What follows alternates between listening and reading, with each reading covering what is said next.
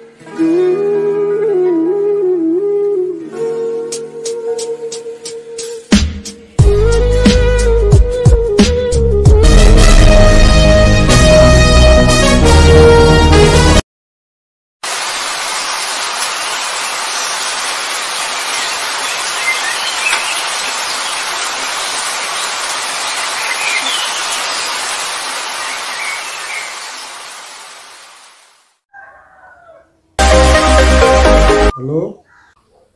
Hello நல்லா இருக்கியா பாஷா? ஆ நல்லா இருக்கேன். ஏதோ அடிபட்டுட்டேன்னு சொன்னாங்க அப்படி என்ன நடந்துச்சு ஆமாப்பா என்ன என்ன என்ன சொல்றேன்னு தெரியல. எங்க சொந்தத்துல ஒரு மேரேஜ்னு சொல்லி மேரேஜுக்கு போயிருந்தோம். மேரேஜுக்கு முந்தின நாள் எங்களுடைய ஃபங்க்ஷன்ல எல்லாமே நல்லா நடந்தது. ஆனா நைட்டு இப்போ நைட்டு முடிக்க மாப்பிள்ளை இருந்தா காலையில ஓடி போயிட்டான்.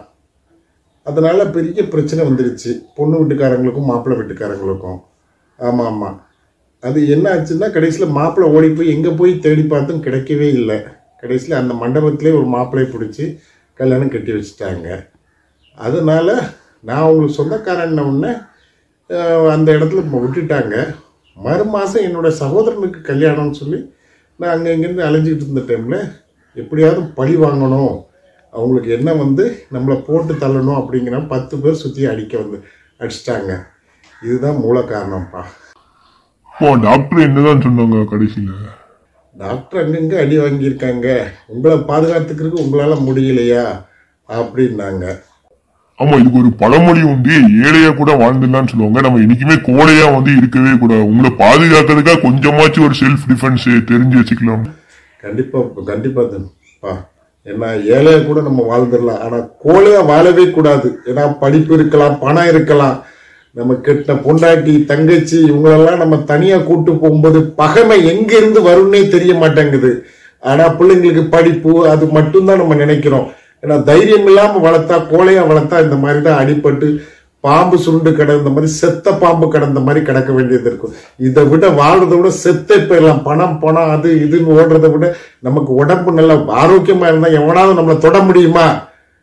அதுதான் நான் தப்பு பண்ணிட்டேன் வாழ்க்கையில. இனிமே நான் தற்காப்பு கலையை கத்துக்கிட்டு எத்தனை பேர் இருந்தாலும் அடிச்சு தூக்குவேன். கண்டிப்பா தூக்குவேன். என்னால முடியும்.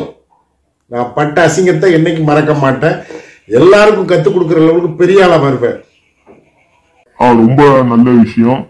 சரி நீங்க படுத்து ரெஸ்ட் எடுங்க. அதுக்கப்புறம் எதுவும் உதவினா ஃபோன் பண்ணி கூப்பிடுறேன் நான் கண்டிப்பா கூப்பிடுறேன். கண்டிப்பா கூப்பிடுறேன்.